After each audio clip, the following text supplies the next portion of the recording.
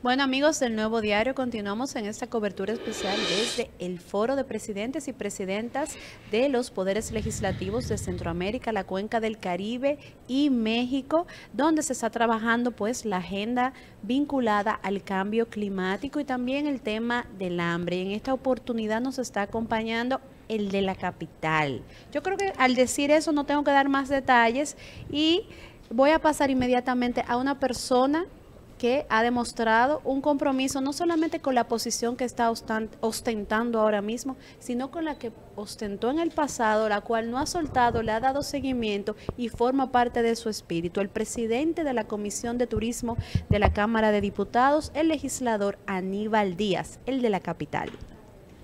Aníbal, bienvenido, bienvenido ah, Aníbal al nuevo diario. Muchísimas gracias, Julia, gracias por tus palabras. Gracias a Percio, que no está aquí, pero en él a toda la parte administrativa y dirección, mi hermano Jaime, a Neudi, Edward, Alan Lester, allá lo veo, a muchos otros más, el nuevo diario, que estamos pendientes de que se conozca en el Congreso la resolución que sometimos el año pasado de reconocimiento por los 41 años ahora que el, el medio ha contribuido al fortalecimiento del debate. Hoy pude ver en algunas entradas y salidas diferentes actores de la vida pública participando en esta plataforma, desde candidatos presidenciales, de ex senadores, presidentes del partido, el propio presidente Pacheco. Así que han hecho una gran, una gran transmisión, un gran esfuerzo correcto de, de, una comunicación eficiente que le ha llegado a todo el país. Lo felicito. Muchísimas gracias, Aníbal. Aníbal, tu función en este importante foro como presidente de la Comisión eh, de Turismo de la Cámara de Diputados, me gustaría saber cómo lo ves, esta integración, eh, cómo va eh, los trabajos y qué oportunidades se pueden sacar de este foro. Mira, el FOPREL, que es el, como bien ustedes han dicho, es el foro de presidentes y presidentas latinoamericanos, Marruecos también es parte, eh, tiene algo sumamente interesante con el turismo y es que este año inclusive no nos tocaba que fuera en la República Dominicana.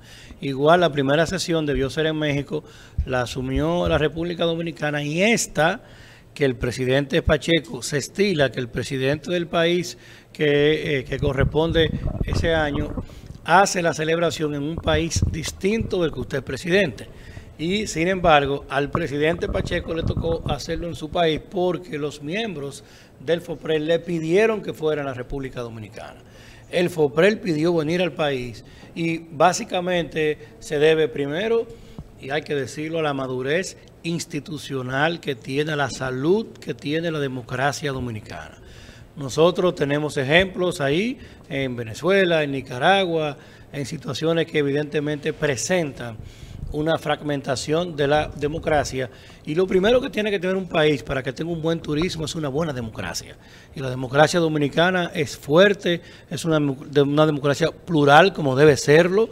Y en función de eso, entonces, en la recuperación que hemos presentado del turismo, el país está de moda. Recientemente el país fue parte de la, del foro de los directores y las autoridades aduanales de la región, también de los ministros de turismo de toda la región.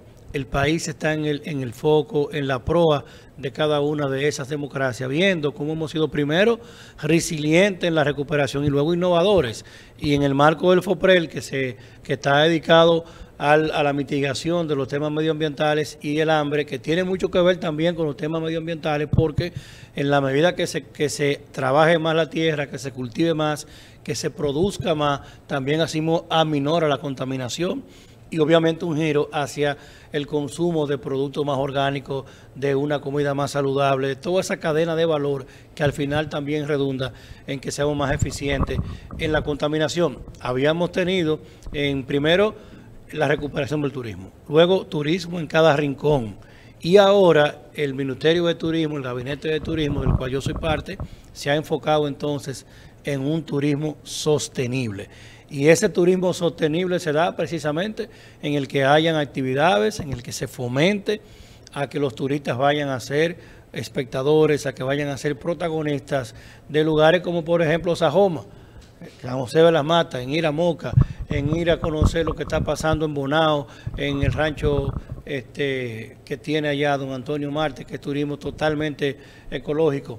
Es decir, se está vinculando cada vez más a que la gente salga del hotel, haga una convivencia comunitaria y eso al final redunda en un turismo mucho más sostenible, mucho más amigable. Aníbal, 10 millones de turistas estamos celebrando en la República Dominicana, pero a mí me llama la atención que el FOPREL se está celebrando aquí en la República Dominicana tiene que ver con el cambio climático. ¿Cómo afecta esto del cambio climático con el turismo, que nosotros tenemos un repunte enorme en cuanto al turismo y ha sido histórico la cantidad de turistas que han venido a la República Dominicana. Habla del turismo sostenible, donde los turistas extranjeros pueden ir a disfrutar ya de, cosas eh, en la República Dominicana que tiene que ver con los ríos, eh, con las montañas, eh, con, todo eso que, ayuda al turismo también interno en la República Dominicana.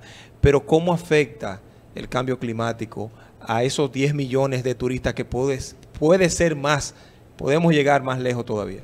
Mira, Neudi, el nuevo diario fue parte de la cobertura de la presentación y el seminario que se dio aquí en República Dominicana hace unas semanas sobre Sargazo, que fue promovido por el Ministerio de Turismo que trajo a un especialista desde la Universidad de Michigan, donde presentaba el ritmo de cómo ha ido dándose en principio cómo fue afectando otras latitudes y cómo ya nosotros somos uno de los principales víctimas del sargazo.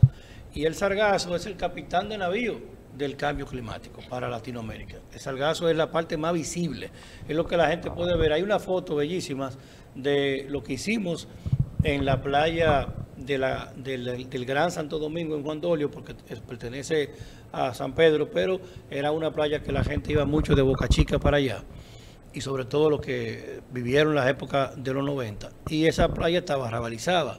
La recuperamos, recuperamos, ojalá hacer un programa desde allí. ¿Y qué resulta? Que hay una época del año en la que tú podías ir a la playa, mirar la playa, pero para bañarte tienes que ir a con el sargazo. Y hay una parte del año que no. Entonces ahí tú puedes ver, es un ejemplo bien visible, Aneudi, de lo que hace el cambio climático. También grandes eh, y muy, muy fuertes niveles de temperatura. Una cosa es el Caribe y una cosa es una temperatura a 40 grados. Y eso lo estamos viviendo. También encontrarse que de repente tú vienes a la República Dominicana y en una época no como hoy, que estamos a pocos días de que se inicie formalmente, ahora en junio, la temporada ciclónica, y nos encontramos con una lluvia que de repente generó mayor nivel cúmulo de agua que la que éramos capaces de asumir en una escorrentía extraordinaria. Eso porque es cambio climático. Entonces, evidentemente, que estos foros internacionales que colocan, y a veces el, dominicano común, el ciudadano común que está en su casa, común porque hace actividades comunes, porque todos somos iguales, del rol común que está viendo el programa, dice, bueno, pero ¿y por qué Julia, Neudi, Edward y, y Jaime, Aníbal le dedican tiempo a esos foros? Ahí no sale nada, eso que salen a beber piña colada. No, del foro anterior generó una resolución pidiendo un esfuerzo para la migración en el caso República Dominicana Haití en nuestra frontera.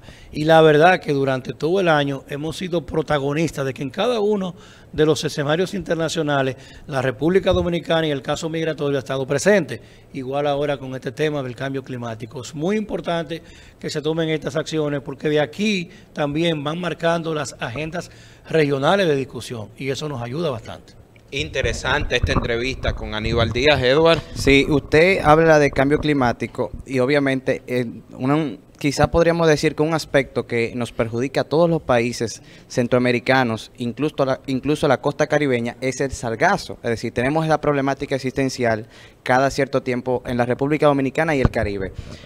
¿Qué resolución o qué proyectos se han presentado dentro de este foro que pudiéramos de alguna forma sacarle entonces provecho al sargazo, porque es una, problemática que tenemos tajantemente aquí en la República Dominicana. ¿Se han presentado algunos proyectos en lo que se diversifique, por ejemplo, se convierte en energía o en algún tipo de material que podamos nosotros sacarle provecho a esta experiencia negativa que estamos viviendo producto del cambio climático? Mira, el sargazo pudiera ser generado como biomasa, pudiera ser generado como materia prima para la creación de alimentos. Hay diferentes variables. El tema no es qué podemos hacer con ese sargazo. El tema está en la cadena de valor y de productividad para llevarlo a ese producto final. Me explico. Sacarlo oportunamente de las aguas antes de que llegue a la playa, a lo que se llama el pleamar o a los arrecifes, contenerlo a mediana distancia del pleamar, que eh, implicaría la mediana costa, sacarlo desde allí y no permitir que llegue a los diferentes mares y playas, que resulta. El proceso tiene varias vertientes. Una de ellas es la que ha presentado la gente de MIT, que es succionar el sargazo, llevarlo a gran profundidad y es como enterrarlo en una, a una presión tan grande que no puede subir. ¿Qué tiene el tema? Que es bien costoso, genera una solución que no es absoluta, es una solución relativa y de un altísimo costo, como siempre pasa con los primeros ensayos de respuesta a grandes problemas. En la República Dominicana creó un fondo de 10 millones de dólares que lo colocó el gobierno dominicano y el Ministerio de Turismo. ¿Qué resulta? Ustedes conocen todos aquí a David Collado. David Collado dijo, bueno, miren, si el plan que me presentan resuelve de raíz, yo estoy de acuerdo no en 10 millones, en 20 millones de dólares. Pero yo como ministro de Turismo no apruebo una inversión relativa, Edward, que se gasten 10, 20 millones de dólares y que la gente vea que como quiera tenemos sargazo. Porque el dominicano va a decir, ¿y en qué gastaron Michelito? ¿Y en qué gastaron? Y tendremos a Jaime Rincón también con un tuit encendido diciendo, ¿a dónde se fueron los 20 millones de dólares?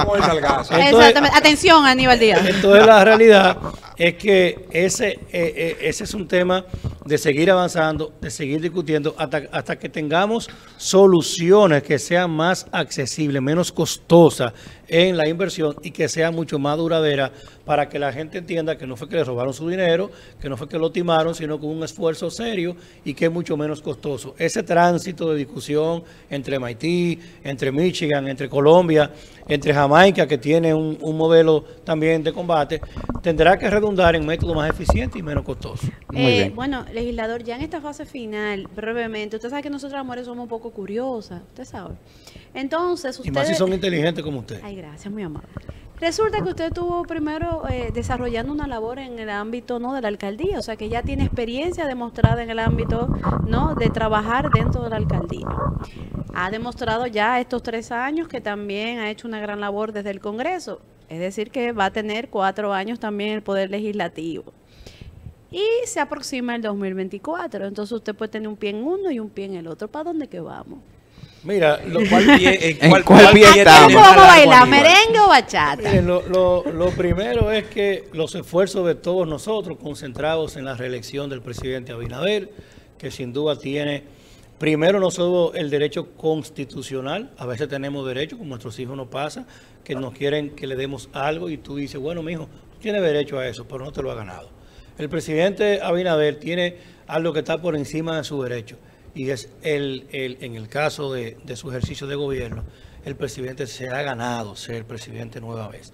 Ha hecho un gran gobierno, sobre todo con un gran esfuerzo denodado en hacer las cosas correctas. Dicho eso, ya en la parte más particular, yo le he dedicado estos últimos siete años de mi vida a la capital y a temas trascendentes y de manga salarial como la salud mental, como hacer grandes inversiones que la gente no se imagina. Julia lo entiende más porque sabe del tema, creando conversatorios, invirtiendo recursos privados para hacer grandes discusiones en, escenarios más grandes, en lo que siempre hemos contado con el apoyo del nuevo diario, vale decirlo. Y hemos llevado esas agendas. Sin embargo, nunca hemos descuidado y hemos descontinuado la labor de defender la ciudad, de llevar a la ciudad y de darle conquista social a la ciudad, como el caso de la Duarte con París, el tema de Agencia Bella, el tema de los limpiavidrios que cuando yo estuve ahí desapareció. Y que lamentablemente hay un tema de continuidad que sigue estando y que hay que tomar acciones más de raíz, que evidentemente hay una resolución del Consejo que se promovió cuando yo estuve ahí, que se cumplió porque la Policía Nacional y AMED, que son parte de IGCET, de ese mandato que va a la resolución, y eso les doy una primicia, estamos preparando, dando los últimos toques finales para un proyecto de ley que va a contemplar lo que es la venta, el comercio, las actividades comerciales en los semáforos, en la vía pública, en las calles, tanto para licencia de vendedor, licencia de buhonero y para el que tiene algún tipo de práctica comercial no descriptiva. Es decir, usted está en un semáforo, usted no solamente es que usted vende aguacate, usted decide que va a coger y va a limpiar el vidrio al otro. Es una actividad económica. Si usted no tiene mi consentimiento, usted no me lo puede vender. No me puede dar ese servicio. Entonces, una cosa es esa y otra es también que usted va en el carro en movimiento, usted acelera el carro y el tipo le tira una pedrada. No fue que usted tuvo una discusión con él, él le agredió y eso es tentativa de homicidio. Entonces estamos dando los últimos toques para presentar esa ley, por si no vuelvo al Congreso, lo cual hoy no lo sé, eh, podamos dejar esa iniciativa, si no aprobada, en el tintero de la discusión. La ciudad tiene una situación y es que la alcaldesa de la capital, que ha hecho un gran ejercicio, que es una mujer que distingue el género, que es una mujer que distingue al partido, que es la primera mujer que ha sido alcaldesa, yo espero que haya más en la capital y en todo el país. Tengo una hija a la que no quisiera ver en política, pero quiero que otras estén. Y la verdad es que como ella lo ha hecho muy bien, ella también se merece continuar. Si ella decide que no va a continuar, y lo dice ella, no que lo diga otro, y ella lo comunica, y ya ella retira sus aspiraciones, entonces habrá una vacante. Mientras tanto, yo sigo dando amor y orden en la ciudad. Sigo comprometido con todos los temas de la ciudad. La gente sabe quién ha estado entre David, entre la alcaldesa, llevando acciones, promoviendo transformación social, haciéndola de la mejor manera, sin dar un golpe, sin tirar un tiro, pactando de manera social. Por eso yo hablo de amor y orden en la ciudad. Si realmente se presenta la plaza, bueno, pues de la capital está aquí. el de la capital, sobre todo. gracias al diputado de la capital, Aníbal Díaz, por estar con nosotros en esta transmisión especial. Continuamos, señores, vamos a una pausa y regresamos en breve.